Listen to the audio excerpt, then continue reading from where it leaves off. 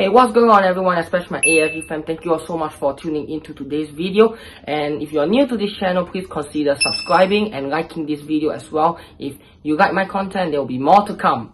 So today's hairstyle tutorial is pretty straightforward and simple. I will be showing you how I get this slick back hairstyle. The slick back hairstyle is actually a pretty simple men's hairstyle and I also see women doing it if they have shorter hair.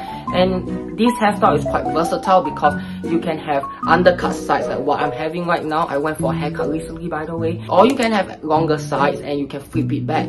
So it's a really simple hairstyle. It will take you less than 5 minutes to do it the hairline for this hairstyle would actually be about 4 to 5 inches at the top. For the size, it's really up to you whether you want undercut or you want to have longer sides. It's based on your personal style. So the slick back hairstyle is also very common and you can use it for different events as well. Similar to the pompadour hairstyle and if you haven't watched that video yet, I made a hairstyle tutorial on it. You can click it right over here. And at the same time, the slick back hairstyle is opposite to the pompadour because for the pompadour, you're trying to get volume but for the slick back, you're trying to make your hair as flat as possible, which is what I have done in this video. So I hope you all enjoyed today's video and let me know how you feel in the comments down below. Without further ado, let's get started with this hairstyle tutorial the very first step you want to do is to wet your hair and that's what I do in all my hairstyling videos. My hair is about 7 to 8 inches touching below my mouth right now and you don't want your hair to actually be soaking wet so towel dry your hair first before doing anything so that your hair can be easily adjustable. Next you want to get a regular comb like this and comb your hair into the shape of the slick back hairstyle. As you can tell I am actually just combing my hair all around into a pretty flat shape.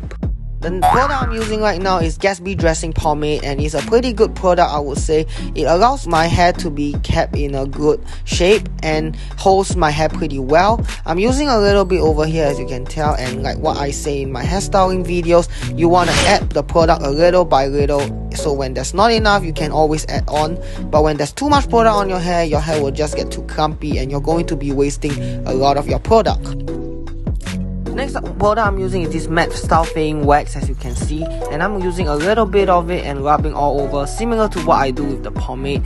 This style fading wax allows my hair to stay on even better and gives my hair extra hold.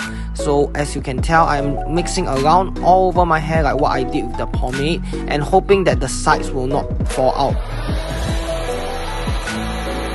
So the last step you want to do is to actually get a blow dryer, put it on high heat and high intensity and use the regular brush to comb all your hair backwards and get your hair as flat as possible because that's what the slick back hairstyle is all about. So with the two products that I've used, my hair has enough hold and this allows me to comb my hair pretty easily and with the heat you will also be able to dry your hair pretty fast Overall, this hairstyle is pretty simple to get if you are trying to grow out your hair from short to medium length or even long hair. You can actually style it this way and it will allow you to go through the awkward stage pretty easily too.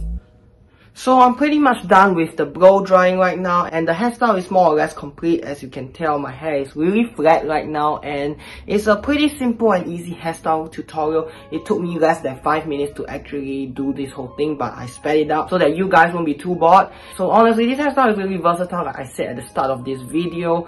You can have an undercut sides or even longer sides and you can flip your hair backwards as well. It's actually overall a pretty simple and easy to do hairstyle. If you'd like me to do any more hairstyle tutorials, let me know in the comment section down below. I will try my best to upload more hairstyle tutorials if I know any of them.